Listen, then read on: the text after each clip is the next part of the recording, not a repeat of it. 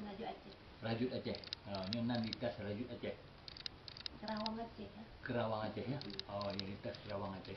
Jadi uh, duk nak tripkan pegat ni bu. Pak ke golong tsunami.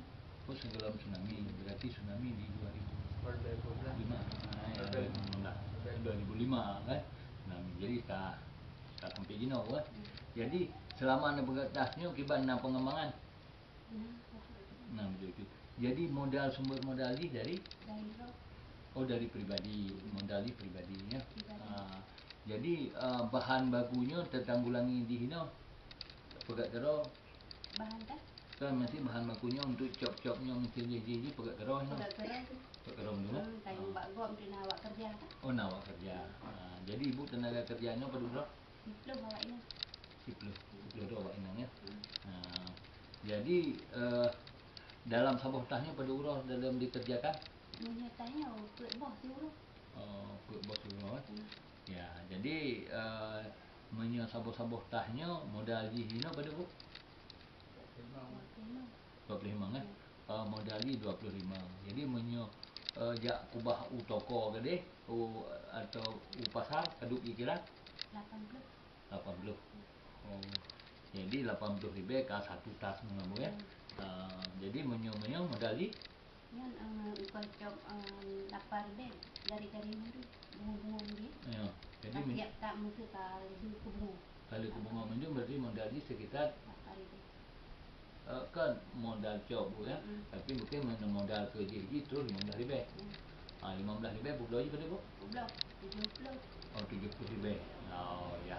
Jadi berarti kerajinannya memang bisa dikatakan sebagai gambaran inovasi bisa dilakukan untuk inovasi dalam arti dengan modal eh, contoh di tasnya dengan modal 25.000 bisa kita hasil eh, bisa kita jual menjadi 80.000 berarti bisa menguntungkan sekitar 55.000 ya bukan ah, 55.000 kalau ini modal 15.000 bisa kita jual 70.000 berarti sekitar untung. Di uh, juga sangat menguntungkan. Jadi lebih itu gambaran untuk inovasi kita ini kan di desa. Ini kamu rencanakan bagaimana juga untuk pengembangan di desa ke depan.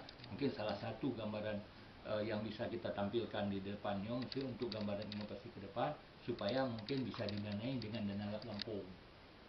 Ya, kalau bisa didanai dengan dana lampung mungkin nyo akan lebih berkembang kepada masyarakat-masyarakat yang na di lingkungan uh, Gelombang Sulu kan Gelombang Sulu.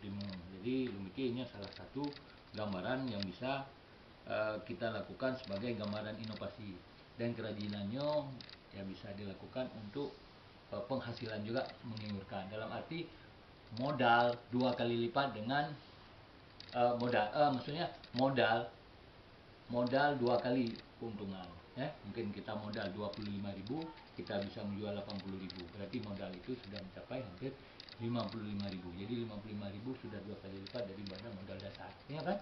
Nah mungkin ini yang kasih Pugat dan untuk mudah-mudahan ini bisa kita kembangkan sebagai gambaran inovasi untuk kelanjutan kepada masyarakat atau masyarakat kita lanjutkan untuk pola-pola kerajinan. Mungkin yang salah satu ini jadi mungkin eh, di kamu dan apabila bu, apabila nyona mesti akan lakukan kegambaran-gambaran untuk pengembangan uh, ke depan itu di desanya atau di tadi untuk membantu untuk melatih atau segala macamnya di Bantu.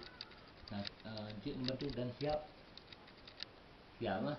Ah, jadi untuk bantu upi untuk hai tapurno kok lain supaya bisa orang lain juga bisa berkarir yang bersama-sama mungkin tam haramnya katanya kan tamak berkembang nah, mungkin urung di pendapatan juga Engkau hanya perlu ragu katanya bahwa pendapatan kerajinan itu juga sangat menguntungkan Jadi itu juga sangat lebih baik untuk pengembangan inovasi ke depan.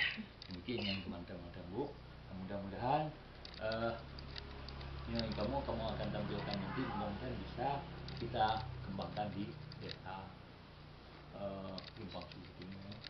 Jadi mungkin yang teman-teman Ibu kan dan terima kasih mudah-mudahan yang kamu ini kerajinan yang bisa datang